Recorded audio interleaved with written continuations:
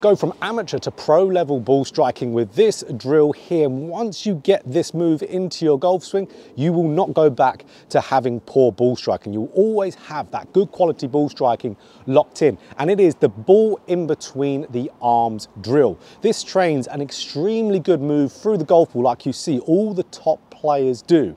Now, if you just keeping this ball in between the arms, that's all you need to do for this drill. I've had tremendous success for this drill, but rather than talking about me, let's talk about one of my students who he absolutely transformed his golf swing, dropped a ton of shots and improved his ball striking. So let's have a look at David's swing before and after and talk about how it's helped him so much, how it's gonna help you. So to start off talking about this drill that will transform your ball striking, let's look at a before and after of my student David.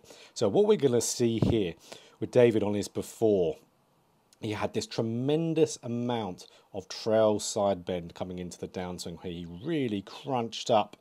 And then from there, because he was getting so much lower to the ground with that trail side dropping down, overly crunching, he had to break down the structure of his lead arm. It had to really bend up on him, creating a big lack of width going through the golf ball. Now, why that happened is because if he extended the arms out from here, had more of a traditional look, he'd hit probably about five foot down into the ground. So, not ideal. So that's where his body naturally, naturally, instinctively had this left arm breakdown to get the club back out the ground again. But as we know, that's going to be an inconsistent way to hit the golf ball. Lots of hand rotation as we can see post impact.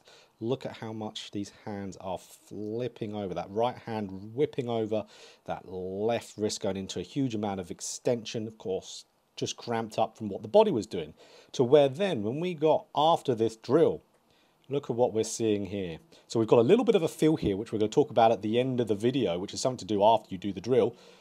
But look at this amazing difference now. Barely any of that excessive trail side bend. I'd argue he's side bending in the exact right time and right amount.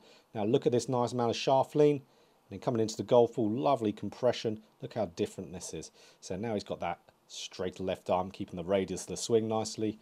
And then post impact, look at this nice width. I mean, look at these two positions. Even if we get ourselves to mid downswing here, let's say in between left arm parallel and shaft parallel, let's say right around here. Look at the incredible difference of just body structure. Amazing. All done via one drill. So let's get into that drill. Let's have a look at it. Same analysis window and we'll get right into it. Okay, so let's look at the drill in action here. So on the right, this is our drill.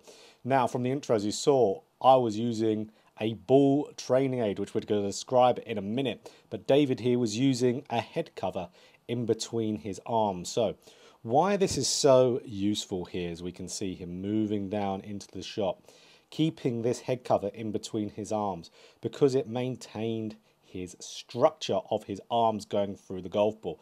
So like we knew, when he had this big side bend going into the ball, his left arm broke down so he could hit the ball and not chunk it toward oblivion. So what we see with him here, we can see he has to keep this in between his arms, which is keeping his pivot much more upright.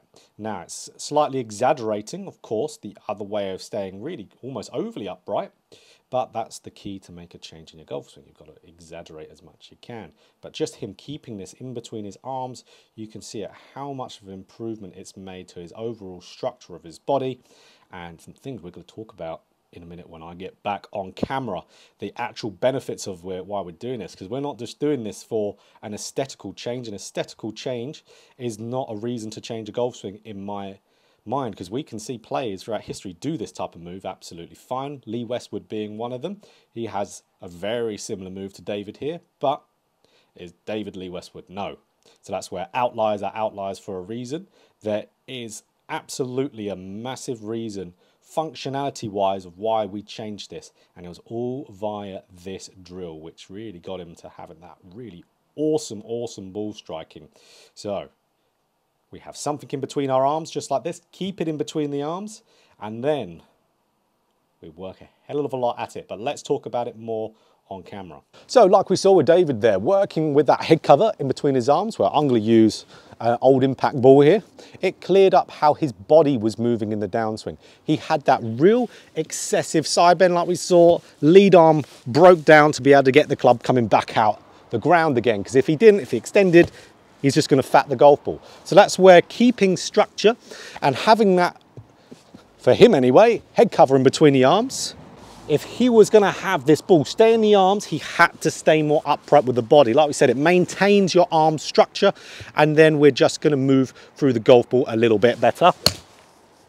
As a result, like I said, I've used this a ton in my game. I had problems as well, as you've seen probably from some of my videos where I've been talking about my swing. I had a little bit of an excessive side bend also like David did. I worked on the same thing along with another drill, but this was a huge player. And it, for me as well, cleared up how I was moving in my pivot because I have to keep this in between my arms to be able to do so. So yes, absolutely, that aesthetical part of the golf swing gets a lot better, but that's not the reason why we change anything in the golf swing is to look better. It's because of how it makes the golf club and the club face function. So when we're not having this big, tremendous side bend like David had, and we have this better extension, longer arc is what we call it post-impact, is it keeps this, the club face, a lot more stable. It has a lot less of a chance to flip over.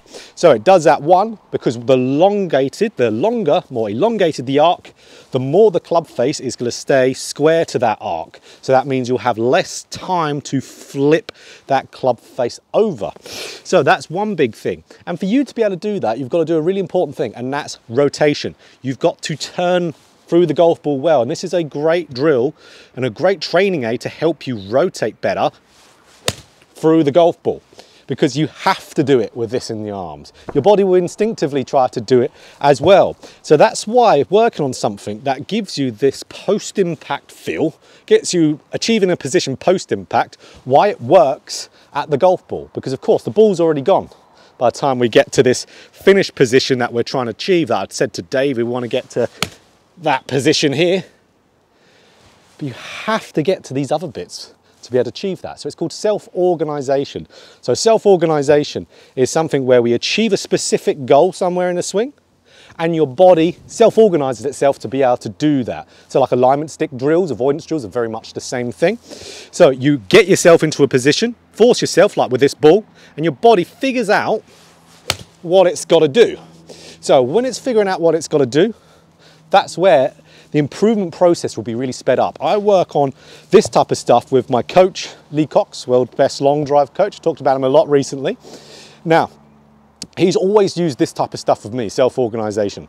And it's something why I believe with my own golf swing, why I can make a swing change really quite fast because we always do these type of drills. And yes, coaches like myself have coaches too. All of them do. So that's where using something like this is just a little bit of a shortcut to getting moves into your golf swing.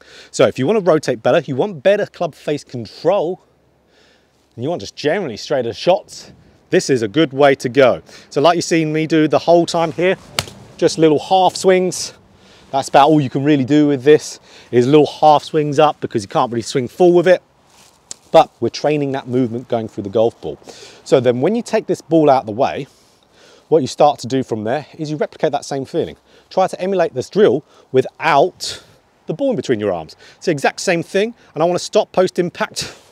Nice, right here, and it's going to make you shoot and hit these really nice shots. And look how extended I am. So I'm not extended via just chucking the arms forward, I'm turning and extending through. It's a brilliant, brilliant way to go and work on your swing and get your drill into your game a little bit more of an organic way.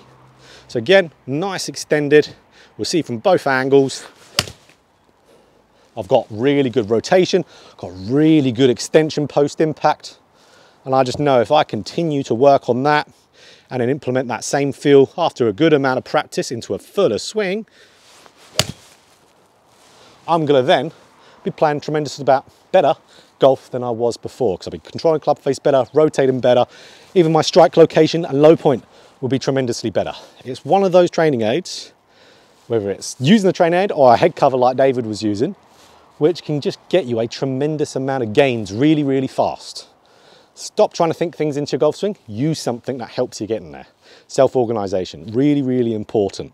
So that's how you can work on something and get other bits before it into your swing. So if you enjoyed this video, click that like button want more golf instruction, just like this. Hit the subscribe button, hit that bell button too to be notified every single time I put out a video. So guys, also if you want to work with me on Skillest, just like you saw with David here, that's where all the lessons were done online via Skillest.